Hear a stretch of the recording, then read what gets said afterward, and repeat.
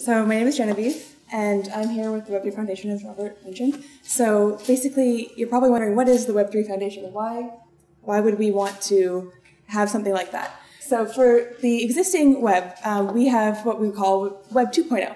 So you can use a lot of services, you can have a good experience, but we want to actually move from something that is centralized, something that is decentralized. And so let me tell you a little bit about the Web3 Foundation and what our mission is. We are here to nurture and steward technologies and applications in the field of decentralized web software protocols particularly those which utilize modern cryptographic methods to safeguard centralization to the benefit and for the stability of the Web3 ecosystem. So a huge part of that actually is the Polkadot project, which Robert just talked about um, to, you know, let you know a little bit about what we're working on there. So we are um, accepting different resources in terms of time or others to support this project, and a few others as well. So why, why do we exist? What are we actually going to do? So we are going to support the research, development, we're going to deploy, advocate, and steward different technologies.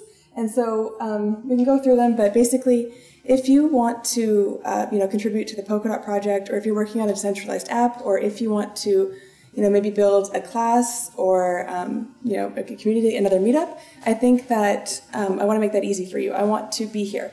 So if you um, would like to be a part of Web3 and be, you know, supportive of our projects, including Polkadot, please just reach out. Hello at web3.foundation. And yes, .foundation is a top level domain that exists, um, despite it not working in a lot of forms.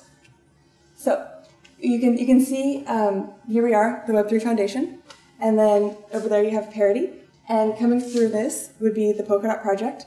And then this is where you fit in, you and our community. And you know, we really want to ensure that you, you have a way to contribute. So again, web3.foundation.